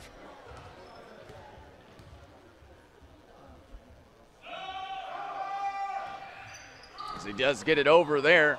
Oriana going to have to run that one down. Matos blocked at the net, though. Dug out by Goshen. Here comes Rabajive. Just trying to tip it over, and Keyline doing his best to save it as much as he can, but again, just not quick enough. The hair too late, and now the Goshen back within one. Um, it, it can be hard too for that libero to be able to read these plays. You know, so often the libero is seen to dig up these hard hit balls, and so when something's just tipped over like that, it's kind of a last minute dive to get to the ball, and Keyline just wasn't able to get there in time. 15-14 our score. And Rabajive one more time. Set to serve again. I finally found that fifth set. They won that fifth set over Judson. Again, 14 kills, one air on 16 attacks in that, again, fifth and final set. They won 15-13, 8-12 attack percentage in that one. And by far the best so far this season in a set for this Lynx squad. Hopefully that was their last match. So, so far they've carried it some momentum into this contest as they get another point right there. Hitting the net was Rabajive and now Wesley set to serve. Yeah, and uh, like you said, that that percentage is amazing. Anytime you see something over 600, I would say it, you're you're seeing a, a good um, hit to attempt ratio there. Uh, Again, Oriana did not touch that, says the official, and that rules it in favor of the Lynx. That one was just long there from Goshen. 17-14 now. Rodriguez right in front of Oriana, and he does agree with the call right there. They do say it was just inside the line. Now, Elijah, talk to us a little bit. It can also hit the line too and still count. Yes, if any part of the ball hits the line, it's considered in. Um, as we know with a hard hit ball, the ball tends to flatten out, um, which you know increases the area that can actually possibly touch the line which is why challenges are sometimes called because they're so close you just can't tell the difference. And the bench loving it there from Matos in this contest. 18-15 now still in favor of the Lynx. And, and Matos, he had a good good weekend as well. He was actually named to the Judson Invite All Tournament team it, over the weekend with some of big performances by him as he does send that one just a tad bit long there. 18-16 still, though, always a positive when you get named honored something like that. Oh, absolutely, and you can see you can see why his performance in this game has been absolutely stellar. And that one right there over the net for Goshen, but Matos cannot get it back across as Goshen will be awarded the point right there. 18-17 now in favor still of the Lynx here in this one as I believe this time around it is going to be Gieman with another serve. As Carter goes up with authority and comes down with even more as he just throws it down right there. Good kill one more time and maybe possibly see a replay of that last one here in this one as he threw it down hard. And his vertical leap on that is just outstanding. That's so. As Matos they're going to say it was just out. Matos cannot, uh, he does not agree here in this one. Let's see this replay one more time of Charles, though, I believe. And Elijah talked about could, how high he got right there. You see about half of his body over the net. As again, unfortunately, our cameras are on this side. Otherwise, we would otherwise we would go to replay of that last one and see if it was in or not. But they do award it to Goshen as Linder got it across, but it's saved though. I believe that was Wall who dug it out as Rabajive once again denied though. Linder just trying to tip it back over. Saved again by Wall. Just sent back over the net. Goes Goshen as uh, that was Washington to try to set it to Carter though, but he was blocked at the net though. Elijah, what did you see there in that last couple possessions? Both teams fighting hard. Absolutely, and we're, what we're seeing now is just the the setter is not able to get to the ball into a manner to where they can set the ball well enough for the hitter to be able to maneuver into a proper hitting position. So we're seeing lower hit Wall with a good dig right there. Matos with the dig as well. Here comes Charles trying to send it back over, but he's going to be blocked at the net there by Rabajibe and Bennett, or I'm sorry, Sauter here for Goshen. As all of a sudden now Goshen with the late lead, 20 to 19. And Rodriguez set to serve. Going right to Matos. Having a little issue with it there, but Washington right back at Rodriguez with Carter, but it was dug out as Wall just going to have to send it back over. Same with Matos, and it was interesting choice here. I did not see if it hit the line or not. They say it was just off to the, the right of it. All of a sudden, 21-19 now here in favor of Goshen College, and I believe Bud went somewhere here in this one. I was going to try to throw it down to Mattie down there, but I think he's having a quick word with her. 21-19, though, is our score here in this one. Now, you saw the timeout taken here by Coach Tibbet. Now, Elijah, talk to me a little bit here. We, we talked about this just about five minutes ago on these late runs by the opposing team. How can they stop those? A lot of times it's just making small adjustments here or there. We're seeing that the setter is able to effectively set to the hitters. Um, maybe trying a different setting pattern would be advantageous to the Lynx at this time. Again, now we're going to send it down to Mattie here on the floor one more time, 21-19.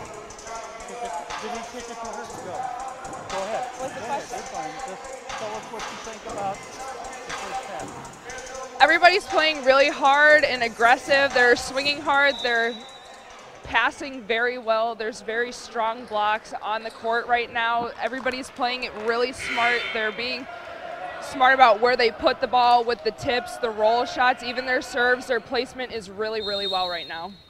And thank you, Mattie, right there. 21-19 lead here for Goshen as Rodriguez once again set to serve. Goes to Keyline, set by Washington to Coleman.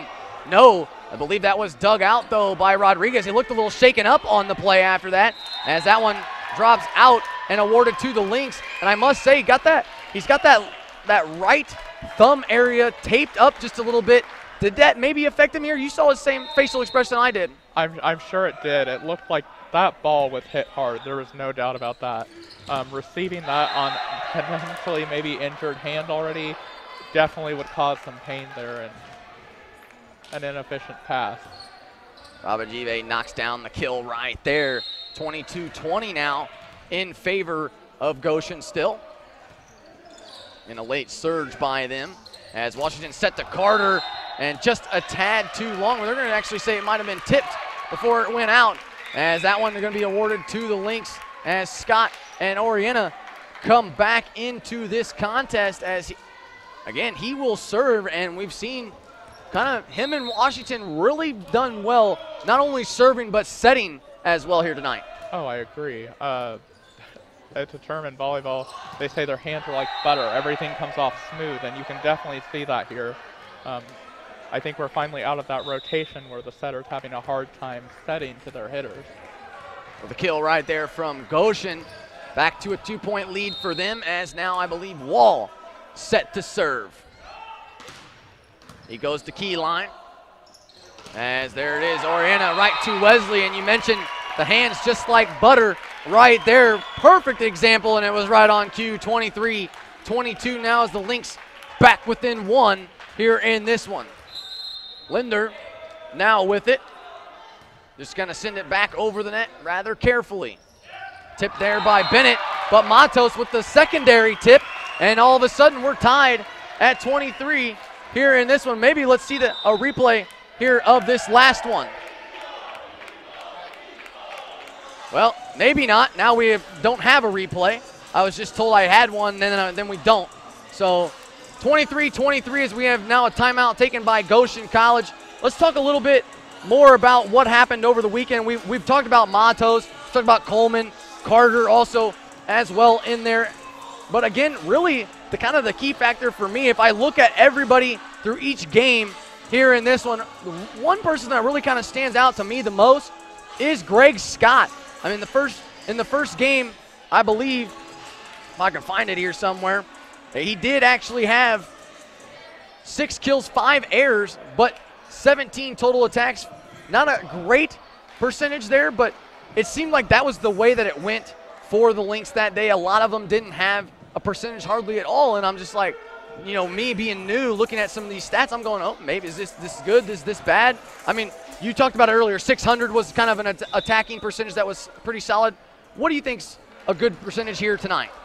Um, right now, I think we're just looking at we're, we're just wanting over 500 here. To, to, it's the first game at home. Uh, we're pumped up. It's you know the pennant night. Um, and good dig there. Matos coming back the other way, and it does hit just inside the line here in this one, 24-23 in favor of the Lynx as they are now at set point. They get this one right here. This ball game will be over. They've already won the first two 25-23, won the second set 29-27. Looking to win this one 25-23 as well, but Goshen College says they want to play at least one more point, a couple more points here in this one as they tie it up at 24 on the kill right there.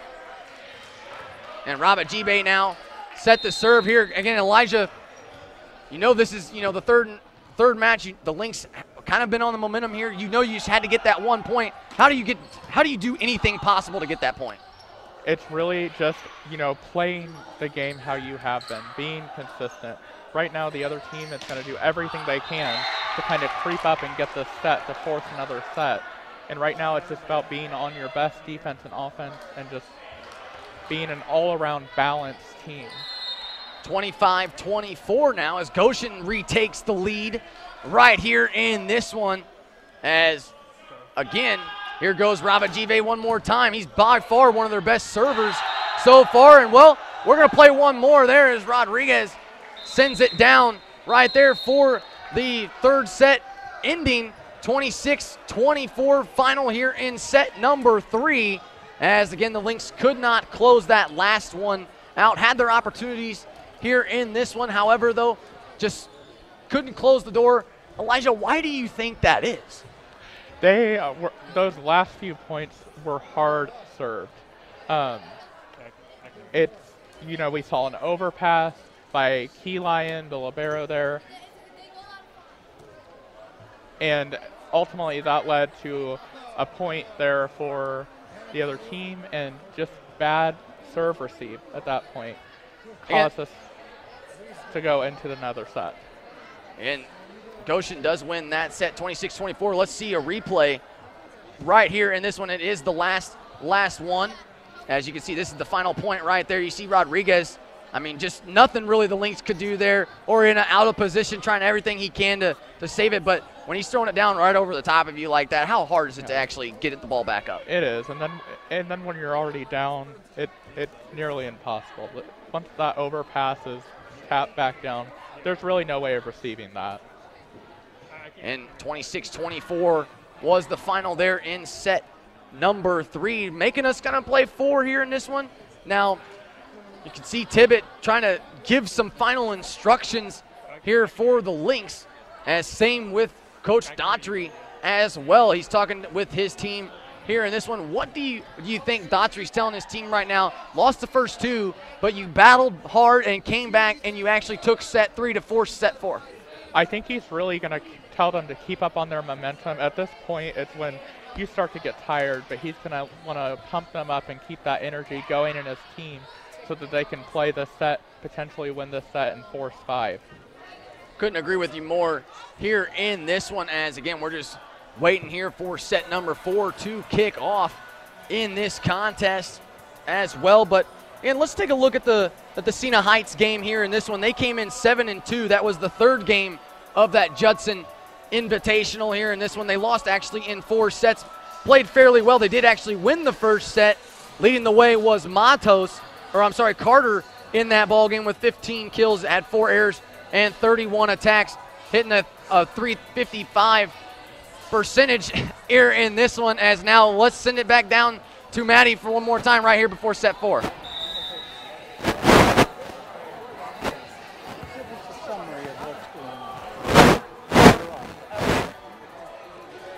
Is up, you guys? We are here at the men's volleyball game. Right now, we just lost our very first set of the evening. It is a heartbreaker, but I know that our team will get back in it and show Goshen who's the real big dog here. Back to you guys. And thank you, Mattie. As again, Elijah, I know you and her both first time broadcasters here. Again, both of you, not only her, but both of you doing such a great job here tonight. Again, I, it's a learning experience for us all, even for myself as well. I mean, I've never called a volleyball game before in my life. I had to go learn beforehand. Again, still have a lot of work to do, but again, both of you doing such a great job here tonight. You can see Bud Broyles right there doing a lot of coaching here, and that's exactly what he does. I, I appreciate your words of encouragement. It's certainly a new experience for me, as for you as well, learning volleyball. Um, and so far, we've had a really good game. And as I believe it was a photo op, Mark Gordon down there taking some stylish pictures as he does also very well here for the college as the first set looked like it was on the line here in this one as that one was awfully close here. Maybe possibly could get a get a replay of that last one on that last serve by Oriana. And telling awarded that we are not allowed to get a replay, so we have a replay when I don't want one, and then we get one when I want one. We don't get one. So that one that one awarded though to the Lynx here, and this one tied at one after this one on a good kill there. Might have been tipped at the net as well. Elijah, what did you kind of see there? Yeah, the ref called that the, it was off the block. Otherwise, that, that ball would have sailed out of bounds. Um, because it hit the block, it's considered played, and that therefore Goshen should have gone after the ball. And Linder hit the net right there, 2-1 in favor of Goshen so far here in this one. And again, 21 set to serve. It really bugs me here that I have to say his number instead of his name. I do apologize, but however, he's not on the roster. That one denied, though, right there from Goshen, sent back the other way. And here they go. All of a sudden, a 3-1 lead for Goshen, and kind of seems like they're starting to build a little bit more momentum off of that set three win. Yeah, they're coming off of a win, and of course, that's a big motivator for your team, especially knowing that, hey, it's not over yet. We still have a chance of winning this, and I'm sure that's what their coach talked about in that he in between set timeout, and now they're they're showing them, you know, just who they are and how they play. A little bit of a mishap there on some of the volleyballs going around as Wesley has the right one. He's set to serve. Goshen with the nice set. Robert Gibe sends it right back to Wesley, though. Oriana with a nice set to Matos. As we'll see if Goshen can't get it back over. I believe that was Robert Gibe just sending it over the net. Same with Oriana, but it was sipped back around. Oriana saves with the set, but Scott right in front of the antenna right there. Nothing much he could have done there. And talk to you a little, talk us a little bit about the antennas here in this one. Not wires, as I was informed earlier here in this one. But however, talk to me a little bit about the antennas. What exactly are they there for? So they're the out of bounds line for the, the volleyball court um, on the net. Um, if a ball touches the antenna, it's considered out. Um, so we saw that he hit that right into the antenna. And Elijah does his best. He, he told me before this started that he knew all about volleyball, and I told him, well, good, because I didn't know nothing. And I, I unfortunately, and luckily, I've learned a little bit here, but that's something I didn't know. So Elijah, good work there. As again, the Lynx with the point, make it 4-3 here in this one. And again, Elijah actually told me, he's like, don't worry, I got your back. And he did right there. That one awfully close from Washington, and they do say it was in. The lines judge said it was out. Well, now they they reverse it here a little bit. They reverse the call, and maybe possibly a replay of that here in this one. They they well, now they reversed it back to the Lynx here in this one, so it's 4-4. Interesting choice there, Elijah. Have you ever seen something like that before? You know, I haven't. And to me, honestly, that ball did look like it was out of bounds from where I was looking. Um, so the call was definitely questionable. I think giving the point to Goshen should have been the right call there. And we're going to have a replay of it here in just a second after a point being made, and that was the fourth hit there by Goshen. So now let's see that replay one more time of Nick Washington's serve.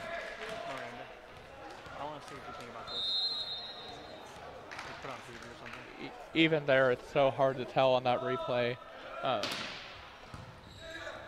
Again, just on the far side of things, our camera couldn't quite pick it up in time.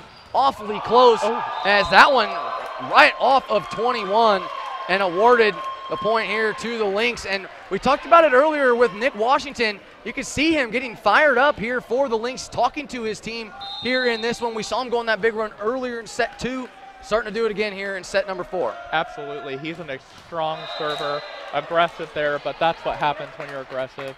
You hit into the net sometimes, but that's okay because you're playing your best and you're getting your team points, that's what matters here. Throws that one right into the net. I'm going to have to talk to him in class on Tuesday about that and saying, hey, man, if I praise you, you're supposed to put it over the net here in this one. 6-5, though, is the score. Still in favor of the Lynx, though, as Rabajibe with the serve and Matos with the kill on the other side of the net. And again, he, you can see he's a real hit and miss type of guy. I actually love the way Matos, you, you mentioned it earlier, the swing. I mean, him and Carter really both uh, high flyers here in this contest. However, though, sometimes, like you mentioned, just a little bit, sometimes too fast, and that kind of, you see some of the airs go in, but not right there as he gets the ace. No, absolutely not. He's he's a strong all-around player, strong server. He's not afraid to serve into that block, which we love to see. It makes for an entertaining game and a stronger player overall. And Rodriguez just going to have to send it over. There's Keyline.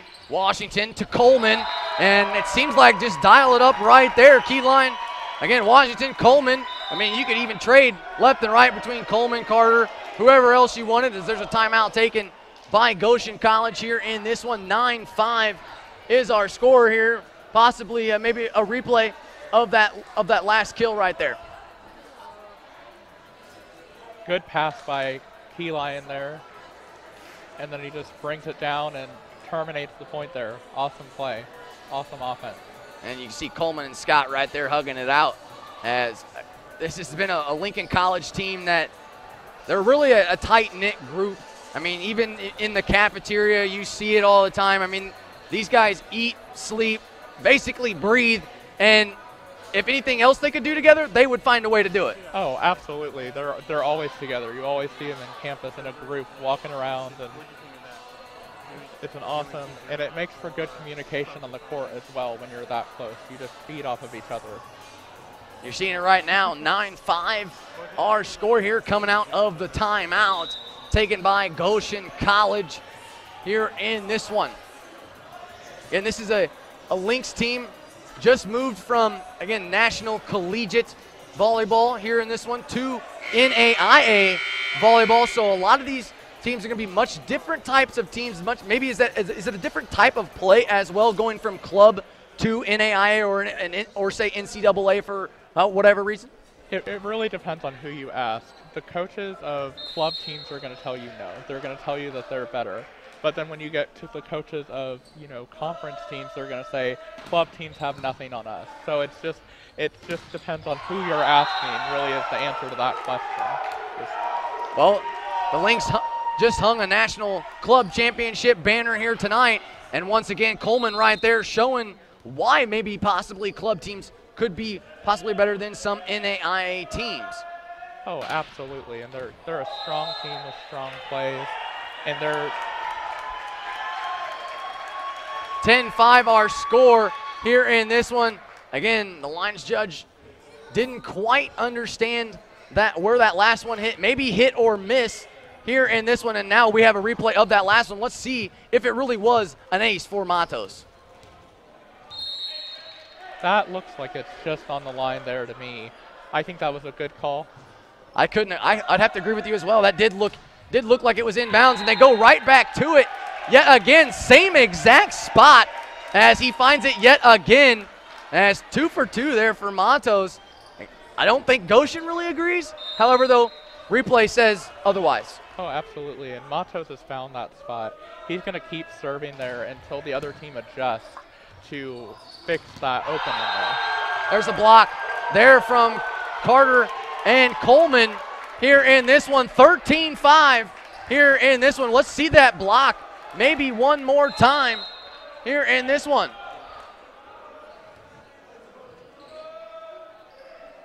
Just puts it straight down, doesn't he? Absolutely. It's a solid block, good penetration, nice stuff block there. And then Matos just on the, the service air right there. But a good run there for the Lynx. They lead it now 13 6 over Goshen College here in set number four. Bennett sends it over the net. Washington to Linder, who originally had it blocked, but it does stay on the Goshen side of things as Keyline just trying to save it. Maybe an interesting pass there, but I don't think he understood or, or saw that Matos was right there behind him. Right, and I think there is a better way. He could have stepped back to take that take that ball um, in a more a better receiving mannerism. Bennett gets it over. Carter one more time. This one a little easier here in this one, but still counts as a kill all the same. And again, 14-7 lead here in this one. As we'll see maybe maybe a replay one more time. As while that one goes a little long. Here, let's see let's see the kill from Carter.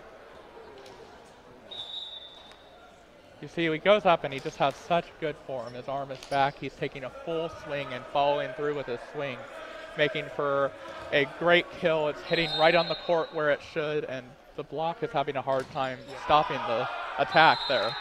And Geeman serve a little long there with the service air.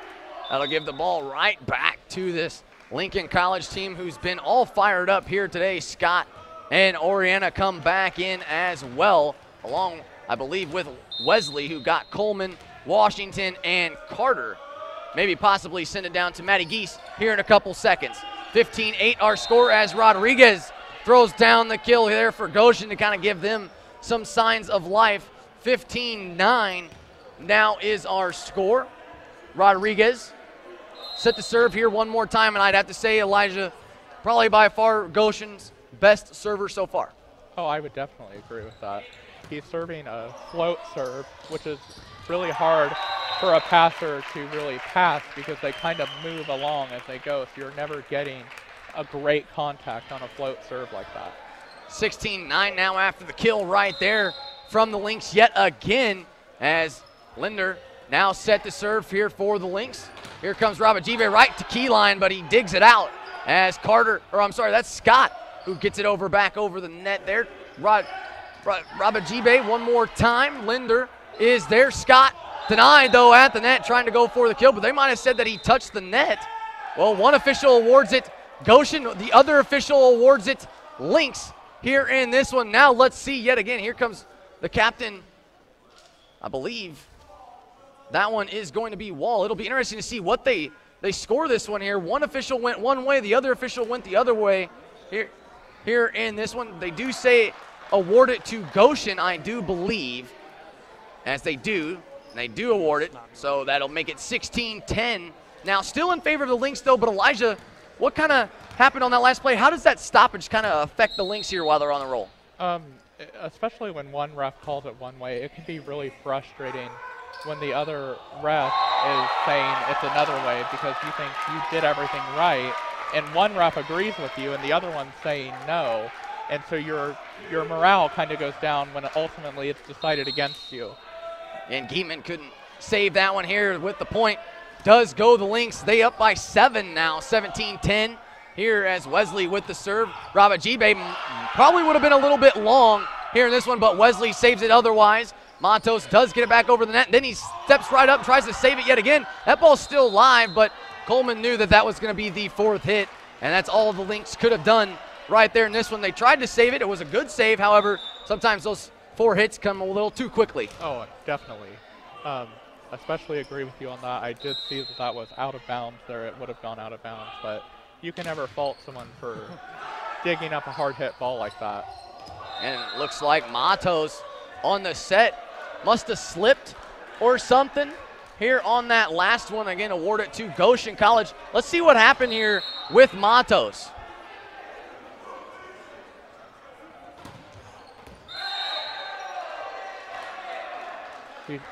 He's approaching the ball, tries to go off on one leg, isn't able to get the height that he needs to really hit that ball. I think it's also set in an awkward way, and he just wasn't able to make an adjustment to get a good swing on that ball there. 17-13 now as Goshen had a point coming out of that replay as Scott trying to do it. Oriana sets it up for Matos. He tips it back, but tips it right back to Oriana. He puts it back over the net, just kind of sending it over. As I believe that was Bennett who just behind the back pass. Coleman trying to throw it down with authority. It was tipped at the net and then blocked right to, again, Coach Daughtry here in this one. So that'll be a kill there for Coleman as Washington, Carter both check into the game as well as Oriana and Scott both check out. Washington set the serve. Goes right to Rodriguez in the back row. Wall to Bennett, but it was blocked at the net by Carter or Coleman. Here comes Robert Gibe one more time. Keyline is there. Set by Washington. Two Matos goes across the court, but denied once again by 21. And we are going to have, a, I believe, a four hit or, or, something along those lines on that far side. Elijah, the point is awarded to the Lynx, though, however. What'd you see? Uh, the ball was hit into the antenna by Goshen, automatically awarding the point to, to the Lynx. 19-13 our score. Washington one more time. Rodriguez saves it out, but here comes Robert Gibe. He cannot. As a good dig, or try, I should say, right there. I believe that one was Rodriguez. As his teammates pick him up here in this one, 20-13 now. As the Lynx with Washington yet again still on this comfortable roll. Yeah, they've got Washington back there serving. He's serving hard and consistently, and it's just building a lot of momentum for the Lynx, and they're able to just play volleyball their way. Uh, Goshen's having a really hard time. And what a set and a kill right there for Charles Carter here in this one. As let's see that replay one more time here in this one because I really want to see this set more than anything by Washington. We see that he gets down on his knees there to get that ball, and that's that's a good setter when you can adjust to make that adjustment to set up the ball to, to your hitter. 21-14 now as that one into the net right there. Now it will be Robert Gibe now with the serve here for Goshen College. 21-14 as he goes to Linder, set by Washington to Matos, blocked though by Rodriguez. And I believe him and Matos, uh, they must be having themselves a day down there because these two really stepping up in that front row for both squads. It's now Tibbett. You can see him. He's standing up a little bit, getting a little antsy because this is the late later part in the game where you're starting to see now. This is where that Lynx team kind of lost it a little bit in set number two or set number three. I'm sorry. Right, and we're seeing, you know, Matos being aggressive at the net there, but we're also seeing the Goshen block really getting over to where it needs to be and being really effective against Matos. And that one blocked at the net, though, by the Lynx. 22-15 now in favor of the Lynx. They've already won the first two. The lost set number three, looking to take the third eh, or the fourth and final set. Hopefully here, looking fairly good so far, as I believe that might have been a four hit right there for Goshen. 23-15. Now all of a sudden, Daughtry not taking a timeout, and there is the timeout that we were so desperately looking for for Goshen College here in this one. Now, I believe we are going to send it down to Mattie Giese here on the floor okay. to see what she's got. Moran. Sorry about that, Mattie. I understand you've got some uh, insight on the, the team and the game. Yes, I do. Um, the assistant coach, Alec, actually played here at Lincoln College, and he actually kind of founded the men's volleyball program here at the school. And if you can see, it's grown quite a bit, and they've accomplished a lot. And it's just kind of nice that Alec is here with them, coming back to his roots and really taking charge of the program again. Yeah, it looks like he's doing a great job out there, and the players really respect him, and that that's good. Okay, guys, back to you. Thank you, Bud and Mattie, for those wise words on Alex Esparza here in this one. Again, the men's assistant coach here for the men's team. 23-15 our score. Matos set to serve. And a hard server there. And Robert Gibe saves it, though, however. Here come the Lynx back the other way as Washington to Charles Carter, who, again, you see so much of that power here in this one. That's where this time it does come in handy where he just kind of lets up a little bit. Let's see it. Oh, absolutely. He sees this open spot on the court, and he just knows he needs to soft hit that right to that open spot. There's no one guarding that. That's a free point to him. And what a good replay that was, is that one awarded to the Lynx here in this one as they win here by the final score here in set number four, 25 to 15, as that will do it here on banner night. What a great way to start your home opener here in this one as you win the first set 25-23, win the second set 29-27. They had to go a little extra, but however, had a pretty good lead in set number three. Couldn't get the job done, couldn't close the door there in that one 25-23 Goshen, but then come out in the fourth set. We talked about being able to close the door. This time they got the job done 25-15 here in set number four for their fourth win of the season. Absolutely. It was a great match. We saw lots of great hits, lots of great serves, and we're hoping to see less errors as we get on into the season as well and just see the Lynx do their thing at home. And this is a, a Lynx team right here in this one where they, they're kind of so letting the fans know thank you for coming out. Thank you for supporting us and coming out here today in our home opener. They do win the fourth set, though, 25 to 15 here in favor of the Lynx, who took three of the four here so far in this one. Again, in just a few moments, we will send it down to Mattie Giese with a word with Mark Tibbett here in this one. But so far, Elijah, what did you see in this contest that, I mean, really kind of sealed the deal for the Lynx? Ultimately, I think uh, uh. He is, his serve has got to be there. He's got to be aggressive. Um, when he starts to doubt that, he. Uh, and again, real quick here, let's send it down to Mattie here in this one. Almost a week off, and that showed early. Um, I would have liked to have seen us, you know, just play a little smarter at times. There were times we just kind of got tight and didn't pass the ball very well, but we pushed through those times. Um, I give a lot of credit to Goshen. They really played hard on defense. They never gave up, and they really, you know, forced us to have to win the match rather than give anything away. So, um, yeah, it was it was a good win. It was a good win overall, but um, yeah, certainly we can play better.